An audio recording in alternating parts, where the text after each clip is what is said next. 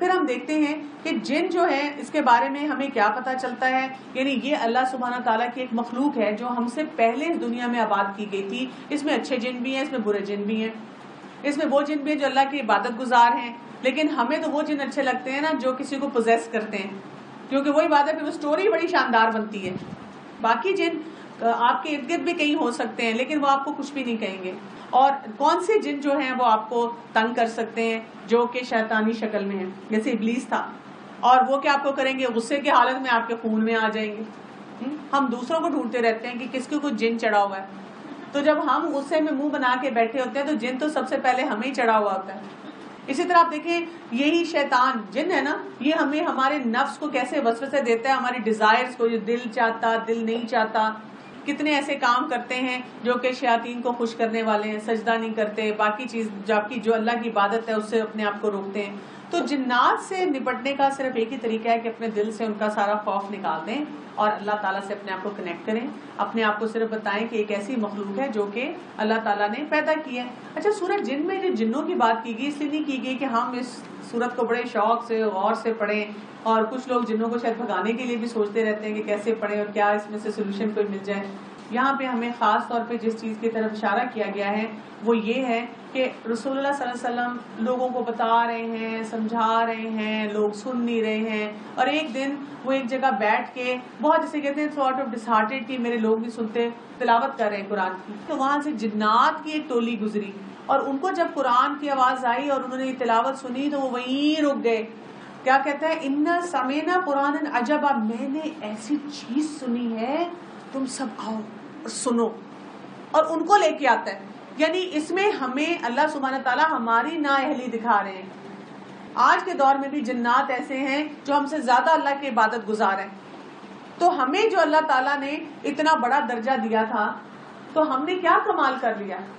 ہم نے اپنا لائف سٹائل کو اتنا پروگریسو بنا کے صرف اللہ کی ذات کو ہی بھول گئے۔ اصل یہ میسج ہے جو اس میں دیا جا رہا ہے کہ اے محمد صلی اللہ علیہ وسلم، کہہ دیں کہ مجھے وہی کی گئی ہے، جنات کی ایک جماعت نے قرآن سنا اور کہا ہم نے عجیب قرآن سنا ہے۔ اس سے یہ بھی پتا چلتا ہے کہ کبھی کبھی ہم کسی مجلس میں بیٹھ کے کسی کو سنا رہے ہوتے ہیں، کسی ایک شخص کو، ایک گروپ کو ٹارگٹ کر رہے ہوتے ہیں کہ اللہ تعالیٰ ان کا دل بدل جائے۔ ان کا دل نہیں بدلتا، لیکن کوئی اور ایکسیڈنٹلی آتا ہے، وہ سن کے فائدہ لے جاتا ہے۔ تو ہمیں بھی اپنا کام نہیں کبھی چھوڑنا چاہیے۔ جو راہ راست کی طرح رہنمائی کرتا ہے، ہم اس پر ایمان لا چکے۔ اب ہم ہرگز کسی کو بھی اپنے رب کا شریک نہ بنائیں گے۔ اور بے شک ہمارے رب کی شان بہت بلند ہے۔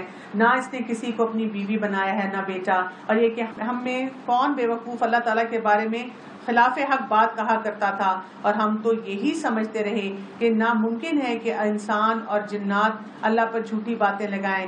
بات یہ ہے کہ چند انسان بعض جنات سے پناہ طلب کیا کرتے تھے، جس سے جنات اپنی سرکشی میں اور بڑھ گئے۔ انسانوں نے بھی تم جنوں کی طرح گمان کر لیا تھا کہ اللہ کسی کو نہ بھیجے گا یا کسی کو دوبارہ زندہ نہ کرے گا۔ اور ہم نے آسمان کو ٹٹول کر دیکھا تو اسے سخت چوکیداروں اور سخت شولوں سے پر پایا۔ اس سے پہلے ہم باتیں سننے کے لیے آسمان میں جگہ جگہ بیٹھ جایا کرتے تھے۔ اب جو بھی کان لگاتا ہے، وہ ایک شولے کو اپنی طاق میں پاتا ہے۔ یہ کیا ہے؟ یہ آپ سوچیں، جیسے بچے ہمارے کمپیوٹر گیمز کھیلتے ہیں نا، اور وہ کہتے ہیں کہ جی وہ گیلیکسیز میں نا بڑی وہ کوئی ایلینز کے ساتھ وار ہو رہی ہے اور وار زون ہے اور پتہ نہیں کیا کیا وہاں چل رہا ہے۔ تو اسی طرح اللہ سبحانہ تعالیٰ روز ہماری تقدیر کے فیصلے، جو کہ اللہ تعالیٰ کے پاس وہ موجود ہیں، لیکن فرشتوں کے ذریعے ایک پوری سمجھے ایک پوری ٹرانسپورٹیشن سسٹم ہے جو آ رہے ہیں، جا رہے ہیں، احکامات آ رہے ہیں۔ تو یہ جو جنات ہے نا، یہ وہاں پہ کیونکہ اوپر تک جا سکتے ہیں آسمان میں۔ تو یہ سننے کی کوشش کرتے ہیں، ٹو لگانے کی کوشش کرتے ہیں۔ تو اللہ سبحانہ تعالیٰ نے بڑا ایک ساؤنڈ پروف سسٹم رکھا ہوا ہے، بڑا پروٹیکٹیو سسٹم رکھا ہوا ہے، جس سے وہاں پہ شہاب ثاقب جو ہیں، ان کو ہٹ کرتے ہیں اور ان کو ختم کر دیتے ہیں۔ اور کوئی کوئی اگر ایک لفظ سن لیتے ہیں تو وہ آگ کے نیچے اسی سے شر پھیلانا شروع کر دیتے ہیں۔ ہم نہیں جانتے کہ زمین والوں کے ساتھ کسی برائی کا ارادہ کیا گیا یا ان کے رب کا ارادہ ان کے ساتھ بھلائی کا ہے۔ اور یہ کہ بے شک بعض تو ہم میں نیکوکار ہیں اور بعض اس کے برعکس بھی ہیں۔ ہم مختلف طریقوں سے بٹے ہوئے ہیں اور ہم نے سمجھ لیا کہ ہم اللہ تعالیٰ کو زمین میں ہرگز عاجز نہ کر سکتے اور نہ بھاگ کر اسے ہرا سکتے۔ ہم تو ہدایت کی بات سنتے ہی اس پر ایمان لا چکے۔ اور جو بھی اپنے رب پر ایمان لائے گا، نہ اس کا نقصان کا اندیشہ ہے اور نہ ظلم و ستم کا۔ یعنی آپ دیکھیں کہ وہ آپس میں کیا ڈائلگس کر رہے ہیں۔ مطلب ہم کتنے غلط کاموں میں پڑے ہوئے تھے نا؟ ہم وہاں جا کے اللہ تعالیٰ کی باتیں سننے کی اور لوگوں کو تنگ کرنے کی اور باقی چیزوں کی کوشش کرتے تھے۔ جہاں ہمیں بالکل نہیں جانا چاہیے تھا۔ کتنے غلط کام کر رہے تھے۔ لیکن اب ہمیں اللہ کا کلام مل گیا ہے۔ اب ہم اللہ تعالیٰ کے راستے پہ چلیں گے۔ اس سے یہ بھی پتا چلتا ہے۔ جیسے ہم کئی دفعہ کسی اور کی بات سن کے کہتے ہیں ہاں اللہ نے اسے ہدایت دے دی نا۔ تمہاری ایکچولی گھر میں اور تمہاری زندگی میں اتنے مشکلات نہیں ہیں۔ میرے ایکچولی معاملات بڑے ٹیڑھے ہیں، اس لیے میں یہ یہ کام نہیں کر سکتی۔ ہر ایک کی زندگی میں کوئی نہ کوئی ٹیسٹ ہوتا ہے۔ اور پھر بھی جنہوں نے سننا ہوتا ہے، جنہوں نے اس کلام سے فائدہ حاصل کرنا ہوتا ہے، وہ کر ہی لیتے ہیں۔ ہاں ہم میں بعض تو مسلمان ہیں اور بعض بے وقوف ہیں۔ بس جو فرما بردار ہو گئے، انہوں نے تو راہ راست کا قصد کیا۔ اور جو ظالم ہیں، وہ جہنم کا ایندھن بن گئے۔ اور اے نبی، یہ بھی کہہ دو کہ اگر لوگ راہ راست پر سیدھے رہتے، تو یقیناً ہم انہیں بہت وافر پانی پلاتے، تاکہ ہم ان میں انہیں آزما لیں۔ اور جو شخص اپنے پروردگار کے ذکر سے منہ پھیر لے گا، تو اللہ تعالیٰ سے سخت عذاب میں مبتلا کر دے گا۔ وَأَنَّ الْمَسَاجِدَ لِلَّهِ فَلَا تَدْعُوا مَعَ اللَّهِ أَحَدًا. اور یہ مسجدیں صرف اللہ ہی کے لیے خاص ہیں۔ بس اللہ تعالیٰ کے ساتھ کسی اور کو نہ پکارو۔ اور جب اللہ کا بندہ اس کی عبادت کے لیے کھڑا ہوا تو قریب تھا کہ وہ بھیڑ کے بھیڑ بن کر اس پر پل پڑے۔ آپ کہہ دیجیے کہ میں تو صرف اپنے رب ہی کو پکارتا ہوں اور اس کے ساتھ کسی کو شریک نہیں کرتا۔ کہہ دیجیے کہ مجھے تمہارے کسی نفع نقصان کا اختیار نہیں۔ کہہ دیجیے کہ مجھے ہرگز کوئی اللہ سے بچا نہیں سکتا اور میں ہرگز اس کے سوا کوئی جائے پناہ بھی نہیں پا سکتا۔ البتہ میرا کام اللہ کی بات اور اس کے پیغامات لوگوں کو پہنچا دینا ہے۔ اب جو بھی اللہ اور اس کے رسول کی نہ مانے گا، اس کے لیے جہنم کی آگ ہے، جس میں ایسے لوگ ہمیشہ رہیں گے۔ ان کی آنکھ نہ کھلے گی۔ یہاں تک اسے دیکھ لیں کہ جس کا ان کو وعدہ دیا جاتا ہے، پسند قریب جان لیں گے کہ کس کا مددگار کمزور، کس کی جماعت کم ہے۔ کہ آپ کہہ دیجیے، مجھے معلوم نہیں کہ جس کا وعدہ تم سے کیا جاتا ہے، وہ قریب ہے یا میرا رب اس کے لیے دور کی مدت مقرر کرے گا؟ وہ غیب کا جاننے والا ہے اور اپنے غیب پر کسی کو مطلع نہیں کرتا۔ سوائے اس پیغمبر کے جسے وہ پسند کر لے، لیکن اس کے بھی آگے پیچھے پہرے دار مقرر ہیں۔ تاکہ ان کے اپنے رب کے پیغام پہنچا دینے کا علم ہو جائے۔ اللہ نے ان کے آس پاس کی چیزوں کا احاطہ کر رکھا ہے اور ہر چیز کی گنتی کا شمار کر رکھا ہے۔ یہاں پہ فرشتوں کی حفاظت کی بات ہو رہی ہے۔ حضرت ابو رضی عنہ سے روایت ہے کہ نبی کریم صلی اللہ علیہ وسلم نے فرمایا، فرشتے نمازی شخص کے لیے اس وقت تک رحمت کی دعائیں کرتے رہتے ہیں جب تک کہ وہ نماز کی جگہ پر بیٹھا رہتا ہے۔ بشرطیہ وہ بے وضو نہ ہو جائے۔ اور فرشتے اللہ سے دعا کرتے ہیں، اے اللہ، اس کی مغفرت فرما، اس پر رحم کر۔ جب تک کہ کوئی آدمی نماز کی وجہ سے مسجد میں رکا رہے اور نماز ہی کی وجہ سے اپنے گھر واپس نہ جا سکتا ہو، تو تب تک وہ حالت نماز میں ہی شمار کیا جائے گا۔ اور آپ دیکھیں، نماز ہم پڑھتے نہیں ہیں تو فوراً ہمیں ایسے لگتا ہے کہ جلدی پڑ جاتی ہے کہ نماز سے اٹھیں۔ کوشش کرنی چاہیے تھوڑی دیر وہاں بیٹھے رہیں وہیں پہ ذکر کریں اور دعائیں کریں۔ ایک اور حدیث میں آئے کہ رسول اللہ صلی اللہ علیہ وسلم نے شاد فرمایا، مدینے میں داخل کے راستوں پر فرشتے مقرر ہوں گے اور وہ مدینے میں تعاون اور دجال نہیں آ سکیں گے۔ یعنی اللہ تعالیٰ نے ان فرشتوں کو ایک پروٹیکٹیو کام کے لیے لگایا ہے اور جنات کو بھی، انہوں نے بھی دین کو صحیح طرح سے سیکھا اور اس کی طرف آئے۔ سورہ المزمل۔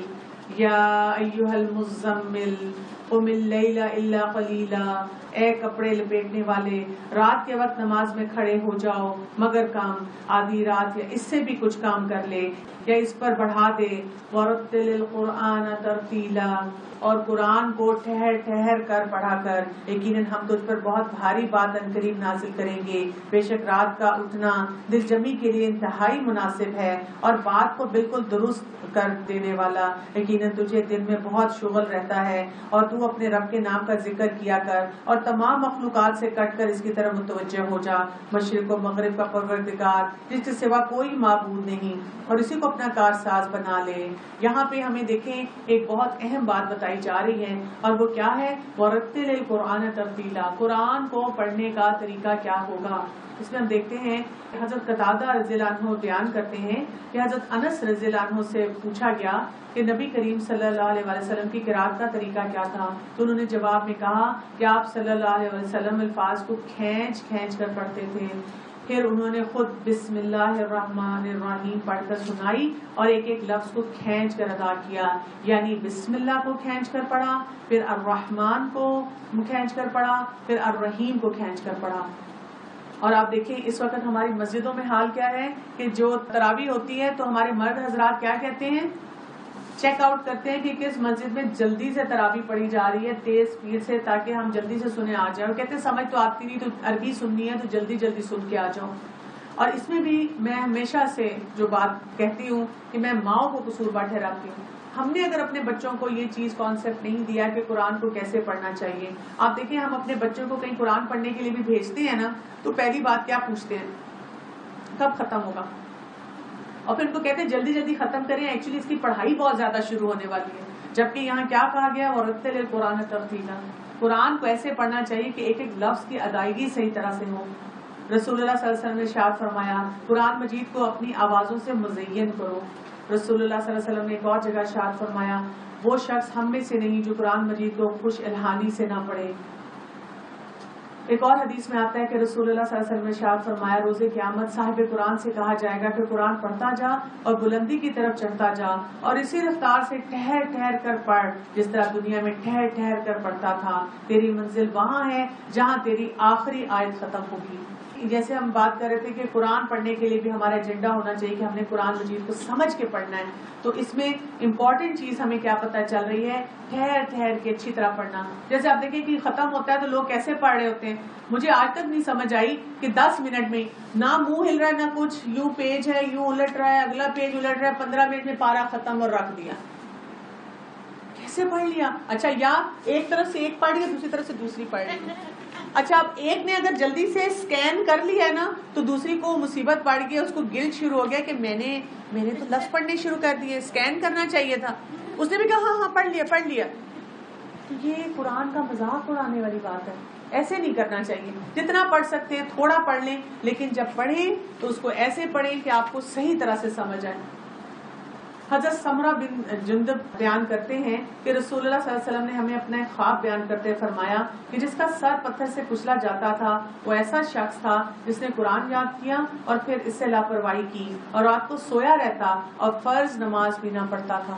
تو آپ دیکھیں، ایمانی اسٹرینتھ جو ہے نا یعنی آپ چاہ رہے ہیں کہ اللہ کے راستے میں کوئی کام کریں تو اسٹرینتھ کہاں سے آئے گی؟ جتنا زیادہ آپ قرآن پڑھیں گے، جتنا زیادہ آپ نماز کی طرف توجہ دیں گے۔ واصبر على ما يقولون واحجرهم. حجرا جمیلا اور جو کچھ یہ کہیں، تو سہتا رہے اور وزیداری کے ساتھ ان سے الگ تھلگ رہے۔ ہاں ایک ہماری یہ بھی مسئلہ شروع ہو جاتا ہے نا، ہوئی، اس نے مجھے یہ کہہ دی، اس نے ہوئی، اس نے میری یہ بات کہہ دی۔ چھوڑ دو، اگنور، کوئی بات نہیں، کہتے رہیں گے لوگ۔ اور مجھے اور ان چتلانے والے آسودہ حال لوگوں کو چھوڑ دے اور انہیں ذرا سی مہلت دے یقیناً ہمارے ہاں سخت بیڑیاں ہیں اور سلگتی ہوئی جہنم اور حلق میں اٹکنے والا کھانا ہے اور درد دینے والا عذاب ہے۔ جس دن زمین اور پہاڑ تھر تھر آئیں گے اور پہاڑ نسل بھر بھری ریت کے ٹیلوں کے ہو جائیں گے۔ انا ارسلنا علیکم رسولا شاہدا علیکم کما ارسلنا الى فرعون رسولا بے شک ہم نے تمہاری طرف بھی تم پر گواہی دینے والا رسول بھیج دیا ہے جیسے کہ ہم نے فرعون کے پاس رسول بھیجا تھا تو فرعون نے اس رسول کی نافرمانی کی تو ہم نے اسے سخت وبال کی پکڑ میں پکڑ لیا تم اگر کافر رہے تو اس دن کیسے پناہ پاؤ گے جو دن بچوں کو بوڑھا کر دے گا جس دن آسمان پھٹ جائے گا اللہ تعالیٰ کا یہ وعدہ ہو کر رہے گا انہا هذه تذکرة فمن شاء اتخذ الى ربه سبیلا بے شک یہ نصیحت ہے۔ بس جو چاہے اپنے رب کی طرف راہ اختیار کرے۔ آپ کا رب بخوبی جانتا ہے کہ آپ اور آپ کے ساتھ کے لوگوں کی ایک جماعت تقریباً دو تہائی رات کے اور آدھی رات کے اور ایک تہائی رات کے تہجد پڑتی ہے۔ اور رات دن کا پورا اندازہ اللہ تعالیٰ کو ہی ہے۔ وہ خوب جانتا ہے کہ تم اسے ہرگز نہ نبھا سکو گے۔ بس تم پر مہربانی کی۔ لہٰذا جتنا قرآن پڑھنا تمہارے لیے آسان ہو اتنا ہی پڑھو۔ وہ جانتا ہے کہ تم میں بعض بیمار بھی ہوں گے۔ بعض دوسرے زمین پر چل پھر کر اللہ تعالیٰ کا فضل بھی تلاش کریں گے اور کچھ لوگ اللہ تعالیٰ کی راہ میں جہاد بھی کریں گے۔ سو تم با آسانی جتنا قرآن پڑھ سکو، پڑھو۔ وہ عقیم الصلاح و آت الزکا و اقرد اللہ قرض حسنا اور نماز کی پابندی رکھو اور زکوٰۃ دیتے رہو اور اللہ تعالیٰ کو اچھا قرض دو۔ اتنا فورسفل اوپن کیا تھا کہ قرآن کیسے پڑھو؟ رتل قرآن ترتیلا۔ اور اس کے بعد سے تھوڑا پڑھ لو۔ اچھا اچھا بیمار ہو، کم کر لو۔ اچھا صبح کسی کام پہ جانا ہے تھوڑا سا دیکھ لو۔ یعنی ہر کیٹیگری کو کہا پڑھو پڑھو تو صحیح۔ اور نماز قائم کرو اور زکوٰۃ دو اور اللہ کو قرض حسنا دو۔ وما تقدموا لانفسکم من خیر تجدوه عند اللہ هو خیر وعظم اجرا واستغفر اللہ ان اللہ غفور رحیم اور جو نیکی تم اپنے لیے آگے بھیجو گے اسے اللہ تعالیٰ کے ہاں بہتر سے بہتر اور ثواب میں زیادہ پاؤ گے اللہ تعالیٰ سے معافی مانگتے رہو۔ یقین اللہ تعالیٰ بخشنے والا مہربان ہے۔ سورة المدثر. بسم الله الرحمن الرحيم. يا أيها المدثر قم فأنذر وربك فكبر وثيابك فطهر والرجزك فاهجر سورہ المدثر اے کپڑے اوڑھنے والے، کھڑا ہو جا اور آگاہ کر دے اور اپنے رب ہی کی بڑائی بیان کر اور اپنے کپڑے کو پاک کر اور ناپاکی کو چھوڑ دے اور احسان کر کے زیادہ لینے کی خواہش نہ کر اور اپنے رب کی راہ میں صبر کر۔ سورت المدثر جو ہے نا، اس کو سورت المزمل کے ساتھ ایک ٹوین سسٹر کہا جاتا ہے، اس کی ٹوین سورہ کہا جاتا ہے۔ یہ مکے کے بہت ابتدائی احکامات میں سے، ہمیں پتا ہے کہ پہلی وہی جو آئی تھی اقرا، اس کے بعد گیپ آ گیا تھا وہی میں اور اس کے بعد جو وہی آئی تھی وہ صورت المدثر کی تھی۔ اس میں اب تبلیغ کا حکم دیا جا رہا ہے کہ اٹھو اور اپنے کپڑے صاف کرو، اللہ کی بڑائی بیان کرو اور اللہ کی بڑائی بیان کر کے سارا حکم دو لوگوں کو۔ بس جبکہ سور میں پھونک مار دی جائے گی، وہ دن بڑا سخت دن ہوگا جو کافروں پر آسان نہ ہوگا۔ مجھے اور اسے چھوڑ دے جسے میں نے اکیلا پیدا کیا ہے اور اسے بہت سا مال دے رکھا تھا اور حاضر باج فرزند بھی اور میں نے اسے بہت کل دے رکھی ہے۔ پھر بھی اس کی چاہت ہے کہ میں اسے اور زیادہ دوں۔ نہیں نہیں، وہ ہماری آیتوں کا مخالف ہے۔ انقریب میں اسے ایک سخت چڑھائی چڑھاؤں گا۔ اس نے غور کر کے تجویز کی، اسے ہلاکت ہو، کیسی تجویز سوچی؟ پھر وہ غارت ہو، کس طرح اندازہ کیا؟ اس نے پھر دیکھا، پھر تیوری چڑھائی، پھر منہ بنایا، پھر پیچھے ہٹ گیا اور غرور کیا اور کہنے لگا، یہ تو صرف جادو ہے جو نقل کیا جاتا ہے، سوائے انسانی کلام کے کچھ بھی نہیں۔ میں ان قریب اسے دوزخ میں ڈالوں گا۔ سما سا اسلی ہی سقر وما ادرا کا ماں سفر اور تجھے کیا خبر کہ دوزخ کیا چیز ہے؟ نہ وہ باقی رکھتی ہے، نہ وہ چھوڑتی ہے۔ کھال کو جھلسا دیتی ہے اور اس میں انیس فرشتے مقرر ہیں۔ ہم نے دوزہ کے دروغہ صرف فرشتے رکھے ہیں اور ہم نے ان کی تعداد صرف کافروں کی آزمائش کے لیے مقرر کی ہے تاکہ اہل کتاب یقین کر لیں اور ایماندار ایمان میں اور بڑھ جائیں اور اہل کتاب اور مسلمان شک نہ کریں اور جن کے دلوں میں بیماری ہے اور وہ کافر کہیں گے کہ اس بیان سے کہ اللہ تعالیٰ کی کیا مراد ہے؟ اسی طرح اللہ تعالیٰ جسے چاہتا ہے گمراہ کرتا ہے اور جسے چاہتا ہے ہدایت دیتا ہے۔ تیرے رب کے لشکروں کو اس کے سوا کوئی نہیں جانتا۔ یہ تو کل بنی اسرائیل کے لیے سراسر بند و نصیحت ہے، سچ کہتے ہو قسم ہے چاند کی۔ اور اس رات کی جب وہ پیچھے ہٹے اور صبح کی جب وہ روشن ہو جائے یقیناً جہنم بڑی چیزوں میں سے ایک چیز ہے۔ بنی آدم کو ڈرانے والی یعنی اسے جو تم میں سے آگے بڑھنا چاہے یا پیچھے ہٹنا چاہے، ہر شخص اپنے اعمال کے بدلے میں گروی ہے۔ اللہ اصحاب الجمین مگر دائیں ہاتھ والے کہ وہ جنتوں میں بیٹھے ہوئے گناہگاروں سے سوال کرتے ہوں گے، تمہیں دوزخ میں کس چیز نے ڈالا؟ اور وہ جواب دیں گے اور من المسلین کہ ہم نمازی نہ تھے۔ اور کیا؟ ولم نطعم المسکین، اور ہم نہ مسکینوں کو کھانا کھلاتے تھے۔ اور ہم بحث کرنے والوں کا ساتھ دے کر بحث میں مشغول رہتے تھے اور ان سے جزا کو چھٹلاتے تھے، حتیٰ کہ ہمیں موت آ گئی۔ بس انہیں سفارش کرنے والوں کی سفارش بارش نفع نہ دے گی انہیں کیا ہو گیا ہے کہ نصیحت سے منہ موڑتے ہیں؟ وہ یہ بہکے ہوئے گدے ہیں جو شیر سے بھاگے ہوں، بلکہ ان میں سے ہر ایک شخص چاہتا ہے کہ اسے کھلی ہوئی کتابیں دی جائیں۔ ہرگز ایسا نہیں ہو سکتا، بلکہ یہ قیامت سے بے خوف ہیں۔ سچی بات تو یہ ہے کہ یہ قرآن ایک نصیحت ہے۔ اب جو چاہے اس سے نصیحت حاصل کرے۔ وما یذکرون الا ان یشاء اللہ واہل التقوى واہل المغفرہ اور اس وقت نصیحت حاصل کریں گے جب اللہ تعالیٰ چاہے۔ اور اسی لائق ہے کہ اس سے ڈریں اور اسی لائق بھی کہ وہ اسے بخشے۔ سورہ القیامہ، لا اقسم بيوم القيامة ولا اقسم بالنفس اللوامة ايحسب الانسان ان لم نجمع عظاما۔ تو میں قسم کھاتا ہوں قیامت کے دن کی۔ اور قسم کھاتا ہوں اس نفس کی جو ملامت کرنے والا ہو۔ کیا انسان یہ خیال کرتا ہے کہ ہم اس کی ہڈیاں جمع کریں گے ہی نہیں؟ یعنی یہاں پہ لا سے بات شروع ہو رہی ہے، جیسے نگیشن کی جا رہی ہے، یہ سب کچھ تو ہو کے رہنا ہے تو تمہارا حال کیا ہے؟ تم اس پہ یقین ہی نہیں کرتے ہو۔ اور پھر کس کی بات کی ہے؟ نفس لوامہ کی، جو ہمارا انٹرنل الارم سسٹم ہے، جو ہمیں ہر وقت ملامت کرتا ہے۔ جو ہمیں بتاتا ہے تم سے غلطی ہوگی، تمہیں یہ کام نہیں کرنا چاہیے تھا۔ ہاں ضرور کریں گے۔ ہم تو قادر ہیں کہ اس کی پور پور تک درست کر دیں، بلکہ انسان تو چاہتا ہے کہ آگے آگے نافرمانیاں کرتا جائے۔ پوچھتا ہے کہ قیامت کا دن کب آئے گا؟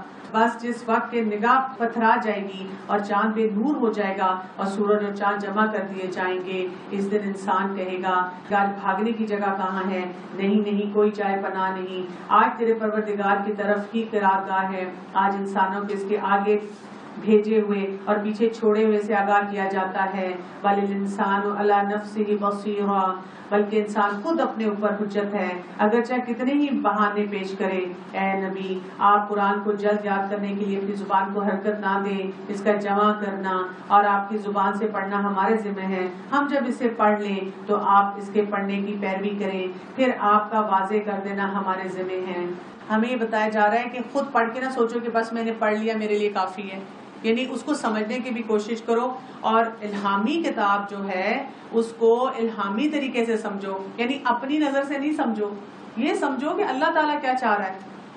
کل بل تو نہیں نہیں، تم جلدی ملنے والی دنیا کی محبت رکھتے ہو اور آخرت کو چھوڑ بیٹھے ہو۔ اس روز بہت سے چہرے تر و تازہ اور بارانک ہوں گے۔ اپنے رب کی طرف دیکھیں گے اور کتنے چہرے اس دن بد رونق اور اداس ہوں گے۔ سمجھتے ہوں گے، اس کے ساتھ کمر توڑ دینے والا معاملہ کیا جائے گا۔ نہیں نہیں، جب روح ہنسلی تک پہنچ جائے گی اور کہا جائے گا کہ کوئی جھاڑ پھونک کرنے والا ہے اور جان لیا اس نے کہ یہ وقت جدائی ہے اور پنڈلی سے پنڈلی لپٹ جائے گی۔ آج تیرے پروردگار کی طرف چلنا ہے۔ اس نے نہ تو تصدیق کی، نہ نماز ادا کی، بلکہ جھٹلایا روح گردانی کی۔ پھر اپنے گھر والوں کے پاس اتراتا ہوا گیا۔ افسوس ہے تجھ پر، حسرت سے تجھ پر۔ وائے ہے اور خرابی ہے تیرے لیے۔ ایاسب الانسان کا سدا کیا انسان یہ سمجھتا ہے کہ اسے بیکار چھوڑ دیا جائے گا؟ کیا وہ ایک گاڑے پانی کا قطرہ نہ تھا ٹپکایا گیا تھا؟ پھر لہو کا لوتھرا ہو گیا، پھر اللہ نے اسے پیدا کیا اور درست بنا دیا، پھر اسے جوڑے یعنی نر مادہ بنائے۔ اللہ سزال کا قادر کیا اللہ تعالیٰ اس عمر پر قادر نہیں کہ مردے کو دوبارہ زندہ کر دے؟ سورة دحر. بسم الله الرحمن الرحيم هل أتى على الإنسان حين من الدحر؟ لم يكن شيء مذكورا حضرت ابو رضی اللہ عنہ سے روایت ہے کہ نبی کریم صلی اللہ علیہ وسلم جمعے کے روز فجر کی نماز میں سورت السجدہ اور سورت دہر کی تلاوت کیا کرتے تھے۔ یقیناً گزرا ہے انسان پر ایک وقت زمانے میں جبکہ یہ کوئی قابل ذکر چیز نہ تھا۔ بے شک ہم نے انسان کو ملے جلے نطفے سے امتحان کے لیے پیدا کیا اور اس کو سنتا، دیکھتا بنایا۔ ہم نے اسے راہ دکھائی۔ اب خواہ وہ شکر گزار بنے، خواہ نہ شکرا۔ یقیناً ہم نے کافروں کے لیے زنجیریں اور توق اور شولوں والی آگ تیار کر رکھی ہے۔ بے شک نیک لوگ وہ جام پیئیں گے جس کی آمیزش کافور کی ہے، جو ایک چشمہ ہے جس سے اللہ کے بندے پیئیں گے۔ اس کی نہریں نکال لے جائیں گے، جدھر چاہیں جو نظر پوری کرتے ہیں اور اس سے ڈرتے ہیں جس کی برائی چاروں طرف پھیل جاتی ہے۔ وَيُطْعِمُونَ الطَّعَامَ عَلَى حُبِّهِ مِسْكِينًا وَيَتِيمًا وَأَسِيرًا اور اللہ کی محبت میں کھانا کھلاتے ہیں مسکین، یتیم اور قیدیوں کو۔